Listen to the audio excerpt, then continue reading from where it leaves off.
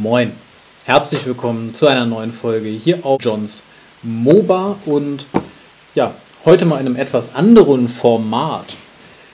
Ich dachte, weil es ja ein bisschen Feedback von euch gab zu einigen der Log-Reviews, dass die doch relativ lang geraten sind und das wird heute auch nicht viel kürzer wahrscheinlich, dass wir das einfach mal in einem anderen Format machen. Schreibt es mal unten rein, ob euch das jetzt besser oder schlechter gefällt als die bisherigen Log-Reviews. Und je nachdem, wie so das Feedback ist, werden dann auch die nächsten wieder gestaltet. Was habe ich euch heute mitgebracht? Das hier. Und zwar ist das eine V200 von Roku. Seht ihr hier. Natürlich wieder in der Dreileiter Wechselstrom-Variante digital für meine Anlage. Und diese Lokomotive hier kostet nur knapp um die 100 Euro aktuell im Handel. Und deswegen hat die den Weg zu mir gefunden, denn ich möchte mit euch jetzt heute mal rausfinden, was ich bei der Firma Roku denn für 100 Euro ungefähr bekomme und ob das ein guter Deal ist oder ob man da eher die Finger von lassen sollte. Und das werden wir heute gemeinsam mal rausfinden. Ganz vorab, ich habe mit der Lokomotive hier ein paar Dinge erlebt, die habe ich noch mit keiner anderen neuen Lokomotive in den letzten zwei Jahren erlebt, muss ich ganz klar sagen. Ja. Und was das ist, das erfahrt ihr heute. Ja. Äh, dann könnt ihr entscheiden, ist das eine Lokomotive für euch, wenn ihr wisst, das kann passieren, oder ist das eine Lokomotive, von der ihr lieber die Finger lasst. Fangen wir mal generell mit dem Modell noch nicht an, sondern erstmal mit der Verpackung. Das ist so ein typischer Lokkasten von Roku, der ist ziemlich stabil, hochwertiger Karton, muss man sagen. Da drin ist dann Papierkram, machen wir gleich. Kein klassischer Blister, sondern nur so ein Einsatz, da kommt die Lokomotive rein und außenrum ist dann Schaumstoff. Ist aber auch echt gut. Und hier oben sind dann noch zwei Aussparungen und die sind auch tatsächlich voll mit Zurüstteilen. Komme ich gleich nochmal drauf. Also das ist wirklich Massen an Zurüstteilen dabei. So ein paar habe ich hier noch. Da seht ihr, so, so ein paar. Das ist echt so viel, dass ich das da oben gar nicht mehr wieder reingestopft bekomme. Echt krass. So, und dann haben wir eben noch eine ganze Menge Papierkram hier. Was da spannend ist, die Anleitung ist sehr detailliert. Ihr wisst, ich mag detaillierte Anleitungen bei Lokomotiven. Und das ist wirklich der Knaller. Seht ihr hier beschrieben bis zum Auseinandernehmen der Kardanwellen und des Motors habe ich hier wirklich alles ja, was Wartung angeht. Das ist wirklich bei einer nagelneuen Lokomotive heute im Digitalbereich was Besonderes. Bei McLean zum Beispiel, wisst ihr jetzt aus anderen Log-Reviews von mir oder selber, da ist gar nichts mehr beschrieben. Da kann man einmal zwei Schrauben aufmachen, kann vielleicht einen Rauchsatz reinsetzen. Den Motor seht ihr gar nicht mehr bei den neuen hochwertigen Lokomotiven. Kohlenwechsel, sowas, keine Chance. Keine Chance. Braucht man vielleicht auch nicht mehr, aber wenn ich jetzt mal eine Lokomotive die nächsten 30 Jahre betreiben will, ist es vielleicht mal gar nicht so unhilfreich, das zu können. Das ist hier alles beschrieben und es ist eine Ersatzteilliste dabei, sodass ihr auch die äh, Teile für die Lokomotive alle als Ersatz immer bekommt. Zumindest solange Roku eben noch Ersatzteile liefert. Das ist also schon mal Verpackung, Anleitung, Ersatzteile, Daumen hoch. Was allerdings dann euch negativ auffällt, wenn ihr diese Lokomotive aus dem Kasten nehmt, dann, seht ihr nicht, dann sieht die nicht so aus wie das, was ihr jetzt hier gerade seht. Denn was die dann nicht hat, wenn ihr sie rausholt, ist die ganzen kleinen Griffe, die hier dran sind. Ja, seht ihr das? Also hier diese kleinen Griffe, dieser hier zum Beispiel, da oben der und auch an den Türen diese Metallgriffstangen, die sind alle nicht an der Lokomotive verbaut, sondern die müsst ihr selber noch anbauen. Die kommt also quasi als so ein halber Bausatz zu euch. Ich habe hier die Mini-Version gemacht, also vorne jeweils die Griffe angebaut und die Griffstangen an den Türen. Hat mich gekostet ungefähr eine halbe Stunde und ein bisschen Gefluche, denn die Teile sind wirklich klein. Und weiterer Kritikpunkt, sie sind aus Plastik. Andere Lokomotiven im H0-Bereich, die ein bisschen hochwertiger sind, da ist das alles aus Metall. Und ich hatte aber auch schon eine Lokomotive in der gleichen Preisrange, könnt ihr bei mir gucken, hier verlinkt, der Triebwagen von Lilliput, der VT62. der hatte auch so ganz filigrane kleine Teile und die waren aus Metall und die waren schon fest verbaut an der Lokomotive oder an dem Triebwagen. Und der hat gekostet oder kostet aktuell auch noch bei Modellbahn Union 79 Euro. Ich habe, glaube ich, damals noch mehr bezahlt. Also jetzt habe ich ihn neulich gerade gesehen, zum Zeitpunkt der Aufzeichnung des Videos hier beim Modellbahn Union für 79 Euro. Ja. Und das ist ja schon mal ein Knaller. Gut, der UVP ist deutlich höher von dem Triebwagen, aber ja, das war hier eben nicht der Fall. Das hat mich schon mal gestört, weil die sah am Anfang, als man sie rausgeholt hat aus der Packung, sah die einfach nicht so cool aus, wie sie jetzt aussieht.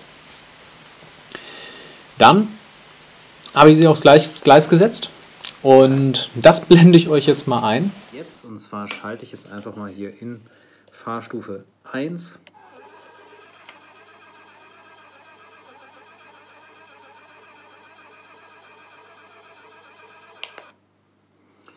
Und wir schalten mal wieder zurück in Fahrstufe 1 in die andere Richtung.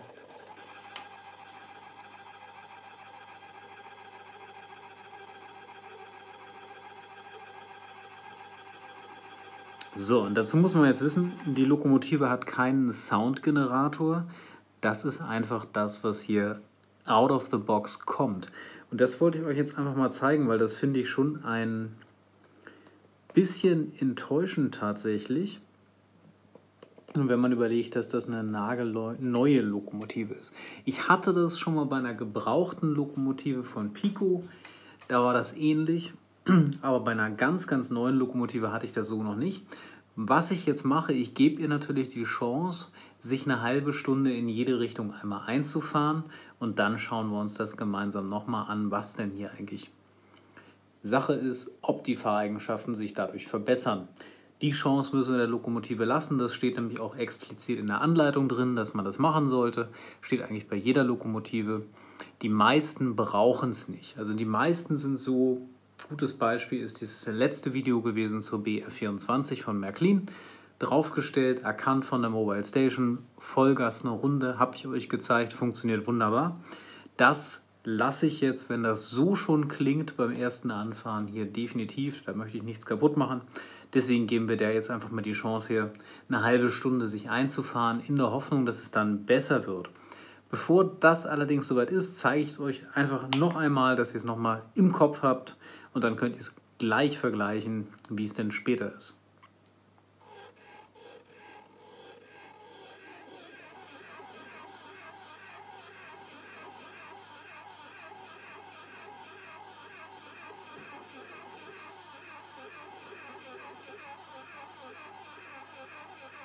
Das ist krass, oder? Ihr habt es jetzt gehört. Wow. Da war ich echt enttäuscht. Also muss, muss man sagen, da war ich echt enttäuscht. Das war in den niedrigen Fahrstufen in beide Richtungen. Plus, wenn ich ein bisschen schneller gefahren bin, hat die extrem geruckelt. Also immer so tschuk, tschuk, tschuk. Die hat wirklich extrem geruckelt. Und das hatte ich bisher noch auch bei gar keiner neuen Lokomotive. Ja, bei jeder Lokomotive steht drin, du musst die erstmal einfahren, mindestens 30 Minuten in jede Richtung. Aber dass eine Lokomotive wirklich so extrem schlecht klingt, direkt nach dem ersten Raufsetzen aufs Gleis und dann auch tatsächlich diese Einfahrtzeit braucht und die ganze Zeit am Anfang rumgejuckelt ist und gequietscht hat und sowas, das habe ich auch noch nicht erlebt. Ganz krasses Ding. Nach 30 Minuten Einfahrzeit in beide Richtungen hatte sich das Thema bei höheren Geschwindigkeiten gegeben. Da war alles richtig, richtig gut. Was bei Fahrstufe 1 und 2 passiert ist, das seht ihr jetzt.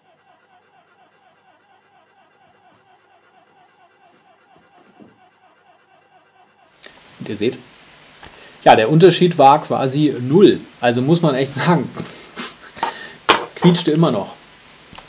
Ich war nochmal enttäuscht.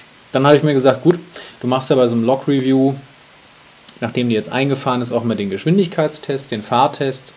Und den hat die Lokomotive eigentlich gut bestanden. Altbekanntes Spiel, da steht sie und wir drehen jetzt mal mit den Werkseinstellungen einmal voll auf.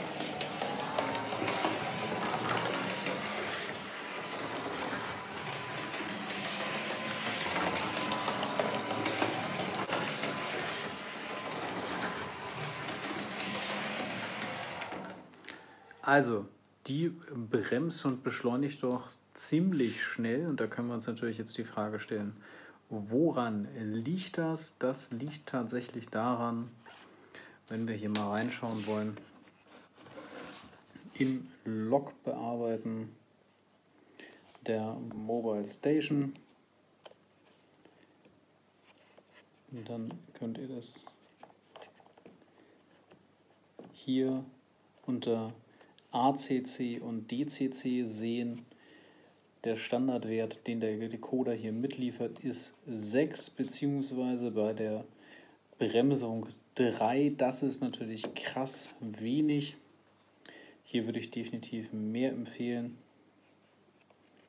Also wenn wir hier auf dem mal bleiben beim ACC, würde ich hier definitiv in der Beschleunigung vielleicht einen Wert von 25 jetzt mal erstmal für den ersten Moment hier einstellen. Dann müsste das doch schon wieder ganz, ganz anders aussehen. Die Dampflokomotiven, die ich zum Beispiel hier auf der Anlage fahre, die liegen irgendwo bei 60 oder so. Ne?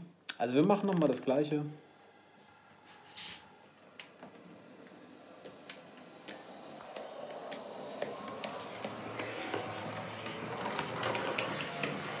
Da seht ihr, ist die Beschleunigung ist jetzt schon deutlich angenehmer. Also, einzige war eben, dass der Decoder ab Werk so ganz komisch eingestellt war mit Geschwindigkeit 3, Geschwindigkeit 6, ein bisschen, also beziehungsweise Beschleunigung, Bremszeit 3 und 6, das war jetzt wirklich ein bisschen crazy. Hm, naja, äh, aber das kann man ja einstellen, das ist ja kein großes Problem. Ansonsten super Fahreigenschaften, bis auf dieses Quietschen beim Langsamfahren, was wirklich für mich zeigt, da ist irgendwas nicht ganz in Ordnung. Ich habe dann natürlich noch nicht aufgegeben. Ich habe dann weitergemacht und wir machen ja immer einen Innenraumcheck hier und den machen wir jetzt einfach mal live hier im Video. Der ist nämlich bei der Lokomotive relativ leicht und da kann ich euch auch zeigen, was ich gemacht habe. Wenn man hier reinschauen möchte, gibt es hier zwei Schrauben, die man lösen muss. Und zwar sind die beiden hier oben im Dach drin, vorne und hinten. Da seht ihr sie da und da. Und dann kann man hier das Gehäuse abnehmen. Das Gehäuse ist komplett einfach nur Plastik bedruckt. Und dann seht ihr hier schon den Innenraum der Lokomotive. Beziehungsweise ihr seht erstmal eigentlich gar nicht viel. Wir haben also hier einen Führerstand auf der einen Seite mit einer Figur ist auch einigermaßen detailliert, also kann man jetzt gar nicht sagen, für eine 100-Euro-Lokomotive erwarte ich da jetzt nicht mehr. Auf der anderen Seite ist keine Figur, ihr könnt aber jetzt theoretisch das Mannequin von hier nach da setzen, wenn ihr wollt. Und dann habt ihr hier schon den Decoder. Der hängt hier einfach so in der Gegend. Da ist nichts drauf, es gibt auch keine Decoder-Anleitung, die CVs erklärt oder sowas. Nix, gar nichts. Mm, das ist echt crazy, beziehungsweise ein bisschen enttäuschend. Und auf der anderen Seite seht ihr das hier. Das ist Metall. Warum ist das Metall? Da kommen die Schrauben vom Gehäuse oben. Die kommen da rein. Das heißt, im Gegensatz zum Beispiel eben auch zu dem Lilliput-Wagen, den ich eben so gelobt habe, wo ich nicht mal Schrauben hatte, wo ich das einfach so zusammengeknipst habe, habe ich hier Schrauben, die wirklich in Metall reingehen, nicht mal in Plastik. Bei vielen anderen Modellen gehen die in Plastik rein, ist nach 10 Jahren kaputt. Metallgewinde einer Schraube mit so einem Schraubenzieher hier quasi unkaputtbar, muss man ganz klar sagen. Genau, da sind wieder zwei Schrauben, die kann man hier lösen, das machen wir jetzt auch nochmal ganz kurz. Und weiter gehen wir dann nicht rein. Die Schrauben übrigens auch wieder ins Plastik. So, gucken wir mal, ob ich die schon weit genug gelöst habe hier. Auf der einen Seite seht ihr ja, auf der anderen noch nicht ganz. Na doch. So. Das ist also dieses Metallteil hier. Nicht verlieren die Schraubchen. Was da eingebaut ist. Und dann sehen wir hier ein bisschen mehr. Darunter, nächste Ebene, wäre dann der Motor. Aber was ihr hier sehen könnt, schaut mal da, vor diesen Lichtleitern, das sind normale Glühbirnen. Da normale Glühbirnen. Finde ich jetzt nicht so prickelnd. Also da hätte ich jetzt ehrlich LEDs erwartet und ich glaube, inzwischen sind LEDs ja auch günstiger. Was übrigens auch ein Nachteil ist, das sind normale Glühbirnen und die sind festgelötet auf der Platine. Also das ist wirklich Mist, weil wenn die mal kaputt gehen und die gehen ja häufiger kaputt, ja, was machst du denn da? Musst du den hier rumlöten auf der Platine bei einer Anfängerlokomotive. Das ist wirklich Mist. Ja. Was ihr hier aber seht, wie der Farbwechsel der Lokomotive da gelöst ist, relativ einfach. Also hier der eine Lichtleiter hat einfach einen roten Farbklecks drauf. Viel tiefer kommen wir gar nicht, denn das ist auch so ein Punkt, habt ihr euch vielleicht gewundert bei einigen der letzten Log-Reviews, warum bin ich so auf die Länge der Kabel immer eingegangen, dass die so lang sind, dass man die Platine hochnehmen kann. Ja, da seht ihr es mal, jetzt haben wir es mal live. Es gibt auch Lokomotiven, da geht das nicht. Also wenn ich die Platine hier hochnehmen will, tatsächlich muss ich die Lötpunkte lösen, denn diese schwarzen Kabel, die hier hochkommen zur Platine, die sind so kurz, ja, die, die kann ich gar nicht abnehmen. Was wir aber machen können, ist, wir können mal einen Blick auf den Motor werfen, seitlich zumindest. Kann man hier diese Abdeckung vom Motorraum, die hier so ein bisschen den Motor hier darstellen sollen. Oder die Motoren bei einer V200, komme ich gleich mal drauf. Da ist er. Motor mit Schwungmasse und dann eben direkt Kardanwellen auf beiden Seiten. Ja. Also der Motor selber ist auch, soweit ich das sehen konnte, gar nicht mal so unhochwertig, also wirkt zumindest sehr hochwertig. Aber der ist die Quelle allen Übels, denn der quietscht. Mich fuchst das ganze Thema mit dem Quietschen der Lokomotive doch massiv, weil ich habe jetzt wirklich alles geölt und gefettet, was man so findet. Also seien es hier die Schnecken, seien es die Kardanwellen, seien es eben die Ansatzpunkte des Motors.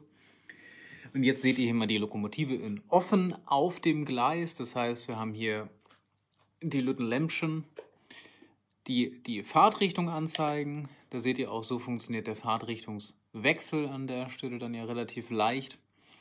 Und jetzt schalte ich mal auf Fahrstufe 1, dann seht ihr auch schon einen Teil des Problems. Und ich tippe mal, das wird sich einfach nur über die Länge des Betriebs theoretisch ändern können.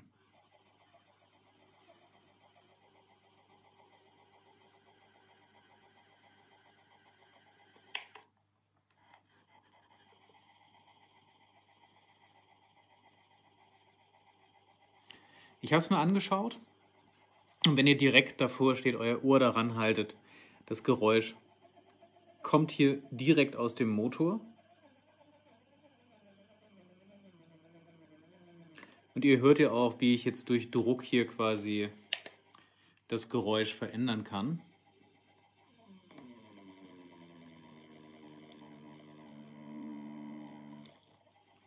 Das ist wirklich ein Widerstand, der einfach im Motor drin ist. Genau, dann können wir das Ganze hier wieder zusammensetzen.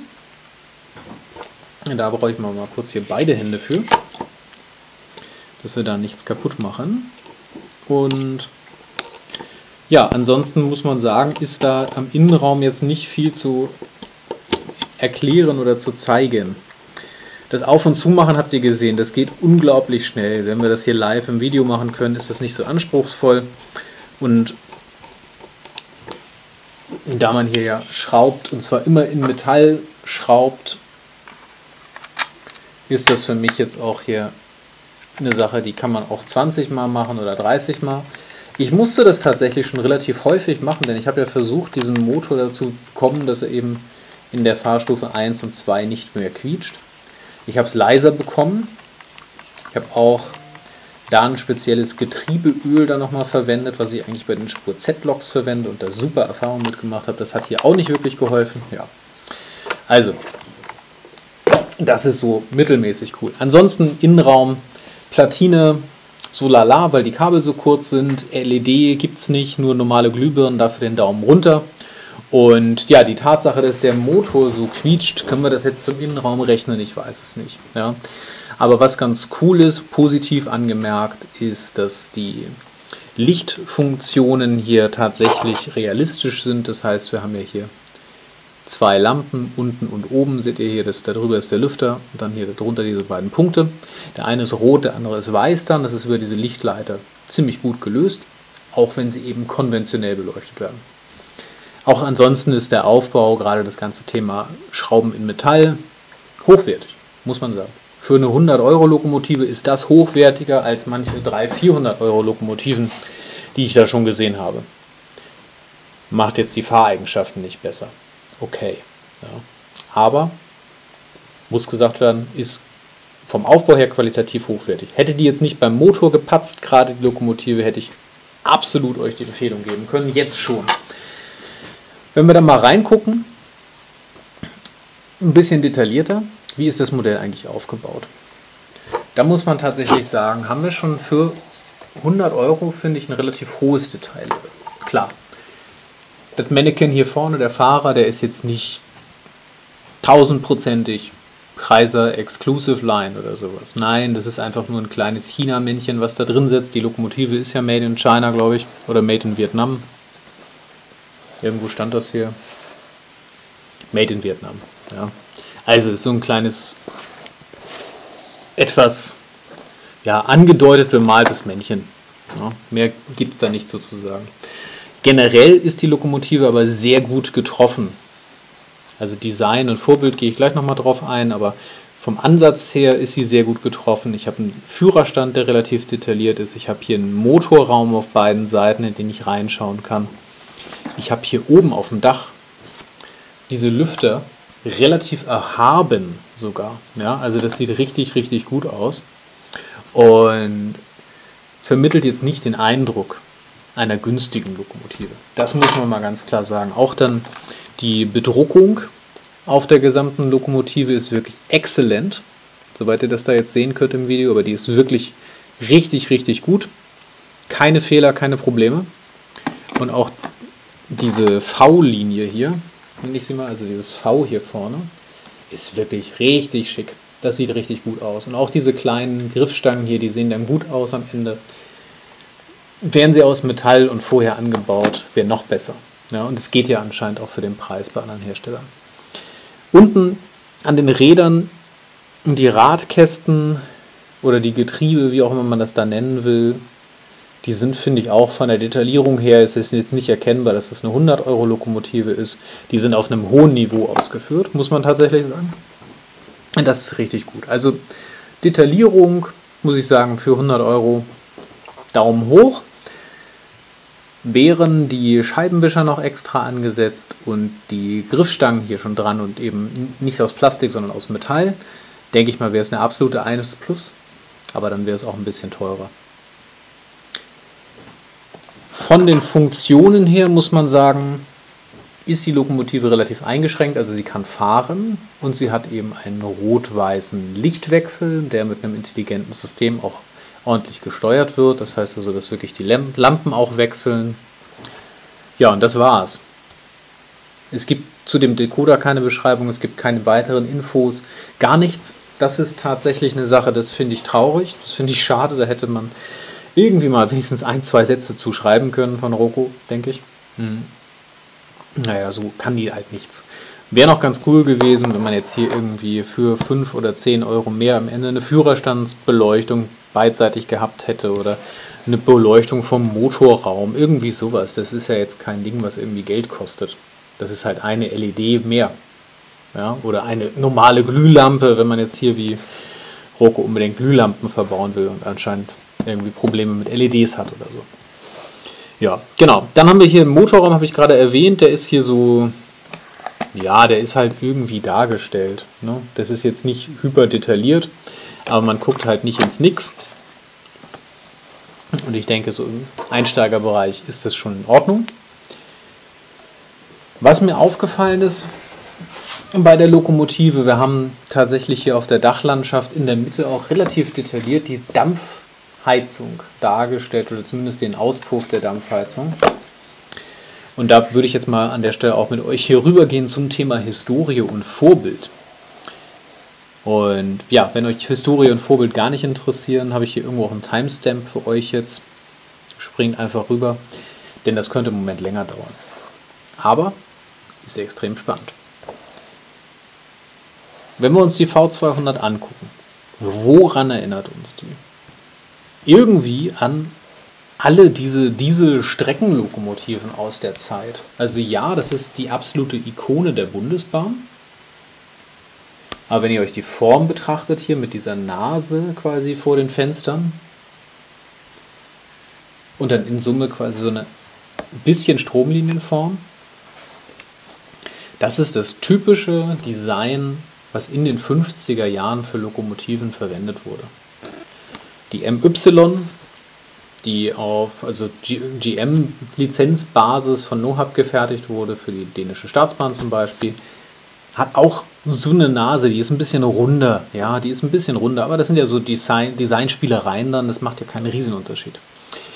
Dann haben wir zum Beispiel die britischen Diesellokomotiven aus der Zeit, auch die haben solche Nasen. Und da hat ja auch Märklin vor langer, langer Zeit, als sie die V200 aufgesetzt haben, haben sie quasi nicht nur die V200 gemacht, sondern auch so eine britische Class 66 oder sowas, Warship Class, glaube ich, hieß die, auf dem gleichen Chassis einfach mal. Da musste man auch nicht viel machen, als so ein ganz bisschen die Form zu ändern und dann hatte man das. Was will ich damit sagen? Diese Lokomotive hier ist ein klassischer Vertreter der ersten Dieselstreckenlokomotiven aus den 50er Jahren. Und zwar entstanden aus den Erkenntnissen und Designideen der 30er und 40er Jahre und natürlich aus der Motorenentwicklung, die auch durch den Zweiten Weltkrieg nochmal einen weiteren Schub bekommen hat. Bis zu diesem Zeitpunkt, bis diese Lokomotiven hier eingeführt wurden, in dieser Art, egal ob jetzt in Deutschland, in Dänemark oder sonst wo, haben ja immer Dampflokomotiven auf der Langstrecke die Züge gezogen. Gerade auch die Personenzüge, Schnellzüge und sowas. Das war ganz klassisches Dampftraktionsgebiet, auch in den 30er Jahren noch. Die 40er können wir mal rauslassen, weil da war ja quasi jetzt zumindest in Europa mit, wenn wir Eisenbahn fahren, nicht so viel. Da war erstmal Eisenbahn kaputt machen und dann Eisenbahn wieder aufbauen. Aber nicht so viel Eisenbahn entwickeln. Außer quasi runterstrippen von vorhandenem Material, so typisch BR52, glaube ich, heißen diese Kriegsloks und sowas. Gut. Danach kam das Wirtschaftswunder nach Deutschland und die V200. Und die Lokomotive hat einen Riesenschub natürlich gegeben. Ihr müsst euch vorstellen, das war ja nach dem Zweiten Weltkrieg, waren ja in Deutschland hier eigentlich die Bundesbahn gestartet mit ja quasi nichts, wenig altem Material, kaputtem Material. Die Schienen waren eigentlich deutschlandweit ja kaputt. Das heißt also so, ich glaube, Bahn, Bahnreisen Anfang der 50er Jahre, Ende der 40er Jahre in Deutschland waren jetzt nicht so das, oder waren verglichen mit heute, wo auch alle meckern, jetzt nicht so das mega Highlight. Weil da hat man sich gefreut, wenn überhaupt eine Bahn fuhr. Tatsächlich hatten zu dem Zeitpunkt aber auch noch nicht alle wirklich Autos, sondern die meisten Leute konnten sich noch kein Auto leisten, haben auf dem Auto gespart.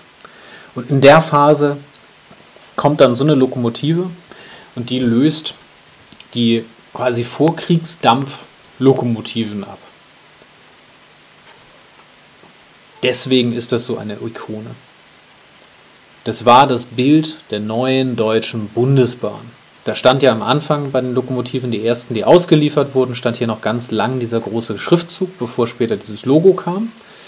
Und damit war das quasi das Symbol des Wirtschaftswunders. Eine in Deutschland entwickelte Lokomotive, diese Lokomotive, mittelschwere Diesellokomotive für die Strecke und eingesetzt am Anfang vor quasi Hochgeschwindigkeits-Personenzügen, also plus 100, 100 km/h plus Personenzüge, waren damals natürlich noch eine Besonderheit.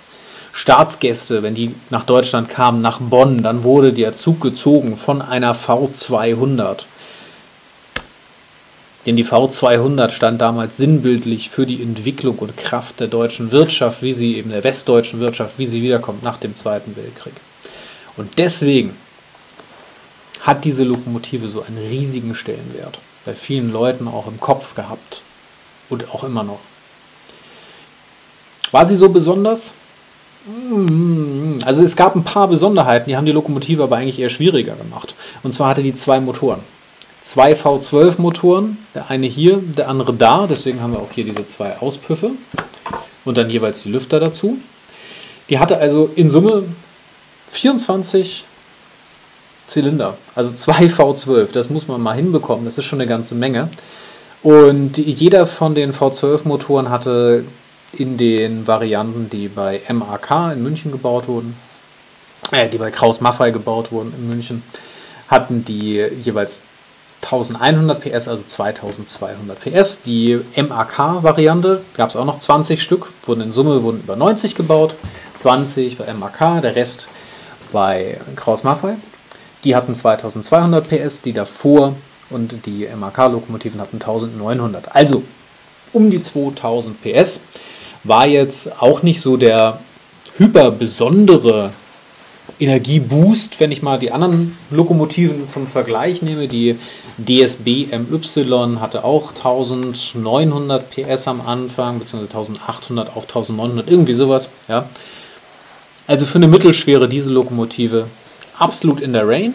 Wenn man überlegt, dass die allerdings acht Jahre nach dem Ende des Zweiten Weltkriegs, als die komplette Produktion auf bundesdeutschem Gebiet zerstört war, acht Jahre später liefen in München und in anderen Städten diese Lokomotiven vom Band als Neuentwicklung. Das macht sie schon wieder besonders. Also technisch mit den zwei Motoren, von der Ingenieurleistung her in acht Jahren das auf die Beine zu stellen, dass man wirklich so eine Lokomotive rausbringt mit Vorserienexemplaren davor und so und auch den Bedarf richtig trifft. Wow, Hammer.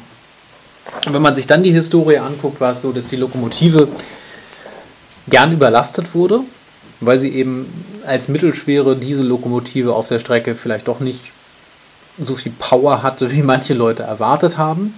Deswegen wurde später die V200.1 rausgebracht. Die hat einfach noch ein bisschen mehr Power gehabt. Und jetzt fragt ihr euch vielleicht, warum steht denn hier 220 die ganze Zeit da auf dieser Lokomotive drauf? Ja, kann man das lesen? Ich hoffe, ja. Die wurden umbenannt. Und zwar wurde aus der V200 1968 bei der Bundesbahn die Baureihe 220. Deswegen heißt diese Lokomotive auch hier 220 036-8.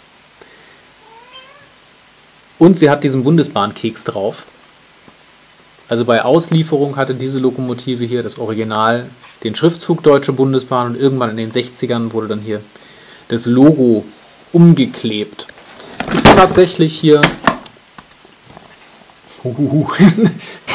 Auch wenn es nur 105 100 Euro sind. Runterfallen sollte sie nicht. Also das Logo ist hier tatsächlich nur gedruckt. Und darunter das Firmenlogo von Kraus Maffei, das ist auch nur gedruckt.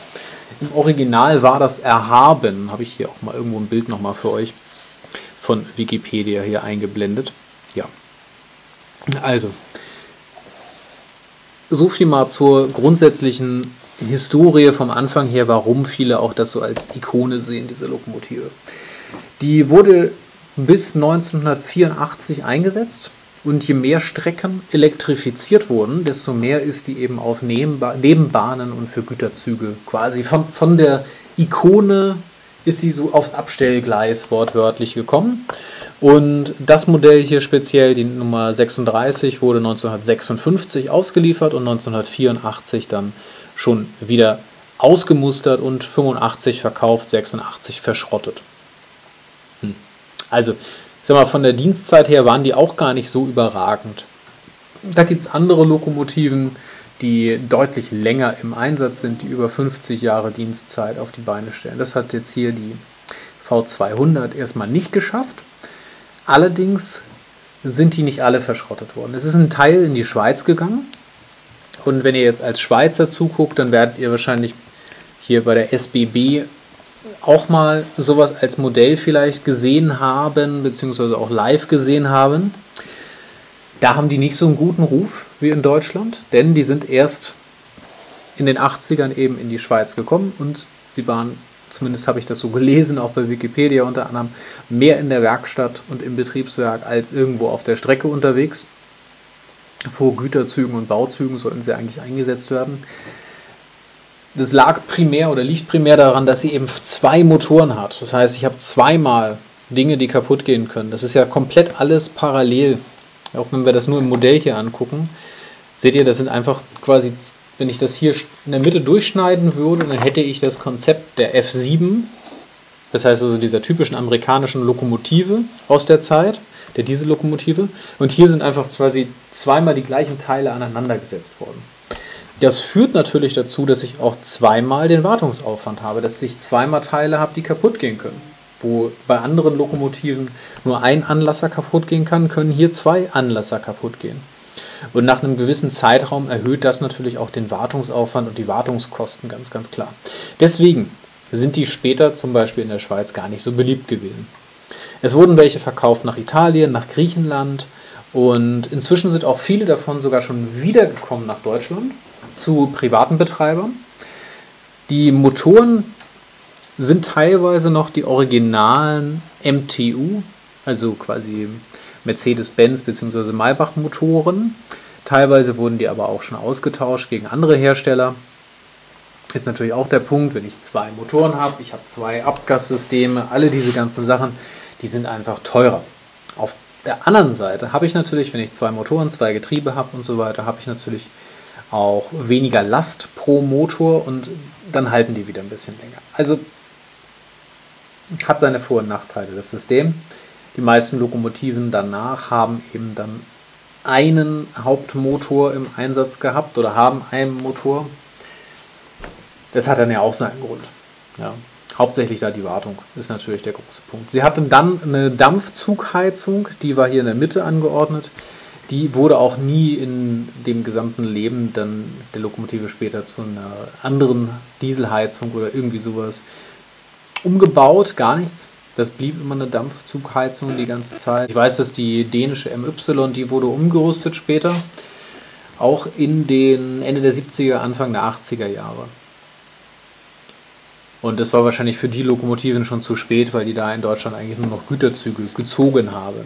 Ja, ihr könnt aber trotzdem heute auch noch welche davon auf den Gleisen sehen. Also da gibt es durchaus noch welche, die wieder fahren, die also zurückgekommen sind. Und die scheinen sich da auch zu bewähren. Denn die Lokomotive ist an sich aus der Zeit, wo Technik noch extrem langlebig gestaltet wurde. Ja, also die sind auf Dauer angelegt und habe ich neulich auch ein spannendes Video gesehen. Wenn ich das finde, verlinke ich euch das nochmal. Da ging es um die Ansagemaschine früher von der Deutschen Bundespost. Kein Anschluss unter dieser Nummer. Das war anscheinend so ein großer Kasten, der in so bestimmte ja, Schaltungen reingehängt wurde.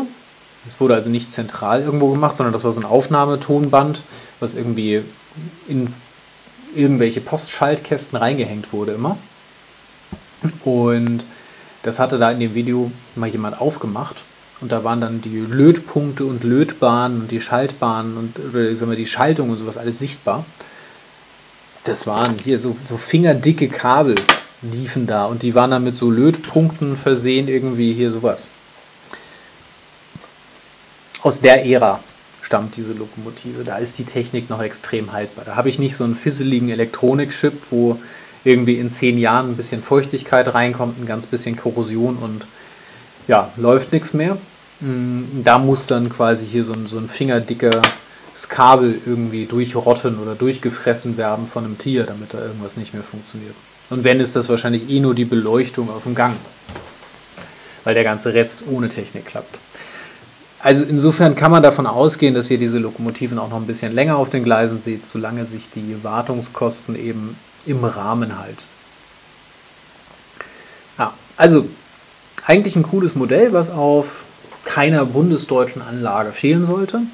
Und jetzt ist natürlich beim bisschen auch beim Fazit die Frage, kann ich euch das Modell hier empfehlen? Und da muss ich jetzt so ein bisschen überlegen, Zielgruppe. Wenn das eine Lokomotive sein soll, für ein Kind zum Beispiel oder für einen Jugendlichen, der eine eigene Bahn hat, der sich darüber freut. Oder für euch, wenn ihr sagt, ihr seid Einsteiger, ihr wollt ja jetzt nicht so viel Geld ausgeben. Wollt vielleicht einfach mal eine weitere V200 haben. Dann ja. Seid euch aber bewusst, dass euch dasselbe passieren kann mit dem Motor, was jetzt bei mir der Fall ist. Dass die also einfach in niedrigen Geschwindigkeiten so quäkt. Die fährt jetzt inzwischen rund. Die, die juckelt nicht mehr, die zuckt nicht mehr, die fährt rund, aber sie quietscht immer noch in der Fahrstufe 1 und 2. Auch wenn es leiser geworden ist. Das finde ich für eine neue Lokomotive enttäuschend, muss ich ganz klar sagen. Es gibt aber wiederum andere Punkte, die ich für eine neue Lokomotive in der Price Range von 100 Euro extrem positiv und spannend finde. Also ja, die ganze Thematik, da sind keine LEDs drin und so, das ist jetzt vielleicht auch nochmal eher negativ, aber die Wartungsfreundlichkeit, und die habe ich ja jetzt schon unfreiwillig kennengelernt, obwohl die neu, neu, nagelneu ist. Ihr könnt hier alles ölen, ihr könnt alles auseinandernehmen. Ihr habt da eine Lokomotive, die lernt ihr dann in- und auswendig kennen. Die ist also auch gut für einen Anfänger. Wenn der mal starten will, da kann man auch nicht so viel kaputt machen da drin. Das kriegt man alles wieder zusammengesetzt. Also aus dem Blick glaube ich, dass die schon langlebig ist und ich glaube auch, dass sie für einen Anfänger gut geeignet ist. Wenn ich dann noch das Äußere mit in Betracht ziehe, denke ich, dass das schon eine gute Einsteigerlokomotive definitiv ist. Sie hat Schwachpunkte. Also hier die kleinen Griffe sind definitiv ein Schwachpunkt, dass man die selber anbringen muss. Keine LEDs ist auch ein Schwachpunkt. Bei mir das Quietschen definitiv ein Schwachpunkt. Die Kupplung habe ich jetzt hier die Originale dran wieder. Achtung, wieder. Ich fahre sonst mit Märklin Kurzkupplung. Und das funktioniert auch bei bisher jeder Lokomotive. Ob die jetzt von Märklin kommt oder nicht. Bei der nicht. Ich habe da Märklin Kurzkupplung ran gemacht. Wagen mit einer Märklin Kurzkupplung ran. Und bin dann über eine Kurve und eine Kreuzung und eine Weiche gefahren. Also eine fiese Kombination habe ich hier eine. Das ist so meine fiese Ecke, da kann ich das testen. Ja, und das Problem war dann, den Wagen hat es dann rausgerissen aus der Spur. Weil die Lokomotive hier einfach mit der Kurzkupplung, das hat irgendwie nicht gepasst, da hing der Wagen hier in den Puffern drin.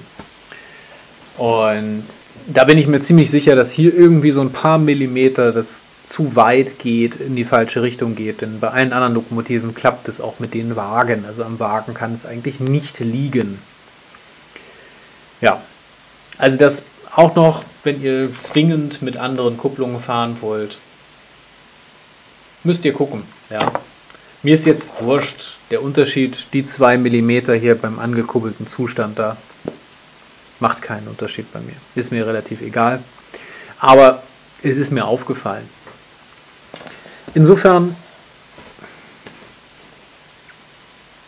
halber Daumen hoch, kein ganzer.